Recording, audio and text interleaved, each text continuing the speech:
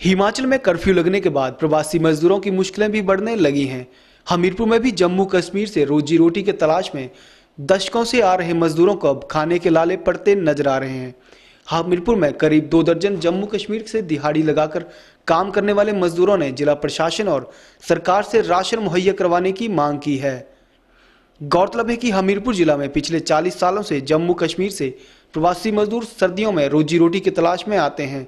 वहीं अब corona virus के चलते इन प्रवासी मजदूरों के पास पैसे तक नहीं बचे हैं, जिससे रोजी रोटी खाने के लिए भी लाले पड़े हुए हैं, जिस कारण मजदूरों ने जिला प्रशासन से खाने का प्रबंध करने की गुहार लगाई है। जम्मू से दिहाड़ी लगाकर गुजारा कर रहे मजदूर ने बताया कि 40 सालों से हमीरपुर में रहते हैं, लेकिन इस बार कर्फ्यू लगने से मुसीबतें बढ़ गई हैं, क्योंकि जो पैसे दिहाड़ी से कमाए थे, वह घर भेज दिए हैं और अब खाने के लिए भी पैसे नहीं बचे हैं।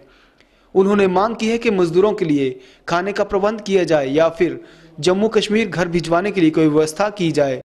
तो फिर हम यहाँ चालीस बतालीस साल से रह रहे तो इस बार हमें बहुत ज़्यादा मजबूरी हुई, जो बहुत ज़्यादा मुश्किल है।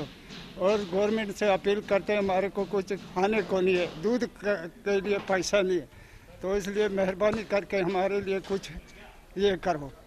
ना ट्रांसपोर्ट हमारे बंद हो गया ट्रांसपोर्ट भी अगर जाने जाते थे मगर गाड़ियाँ भी नहीं है बंद हो गया। इसलिए हमारे को गवर्नमेंट अपील कि हमारे लिए कुछ सौदा करे क्योंकि हम यहाँ भी बाहर का किसके पास जाए किसे मिले? पहले किसी से बात भी करते थे दो चार से थोड़ा टाइम पास करते थे अभी वो भी बंद हो गया बात करने का कि लोगों से मिलना भी बंद है। अभी पाँच छः, पाँच महीना हो गया यहाँ आए को। मगर हमारे पास अभी कोई एक रुपया का ये नहीं है, सर। तो इसलिए अपील है गवर्नमेंट से, हमारे को कुछ न कुछ अदा करे। एक अन्य मजदूर ने बताया कि काफ़ी दिनों से वह बिना काम काज के घूम रहे हैं। उन्होंने सरकार से मांग की है कि इस आपदा की घड़ी में साथ दें और खाने के लिए राशन तक मुहैया नहीं है, इसलिए सरकार जल्द राशन उपलब्ध करवाए। सर, मेरे को भी 18 साल हो गए यहाँ सर रहते हुए काम करते हमारे को तो जम्मू कश्मीर की दिक्कत हो गया सर। पाँच छः महीने वहाँ बंद रहे सर। और फिर दो ढाई महीने हो गया सर, यहाँ मजदूरी करते सर। और यहाँ बहुत दिक्कतें हो गया सर। हमें कोई खाने पीने के सामान भी नहीं सर, कुछ नहीं। अल्लाह के सिवा कोई सहारा नहीं हो गया सर।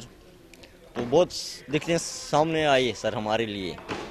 इसलिए थोड़ा गौर सर, हम ये अपील करना चाहते हैं, गवर्नमेंट अगर जाने के लिए ट्रांसपोर्ट नहीं देते हैं तो खाने पीने के लिए कुछ देना चाहिए। हम दिहाड़ीदार आदमी है, चार सौ रुपये दिन का दिहाड़ी लगा के खाना पीना खाते थे।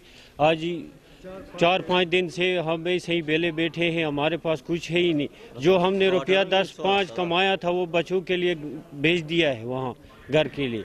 राशन और हमारे पास ना राशन है कुछ नहीं है सर।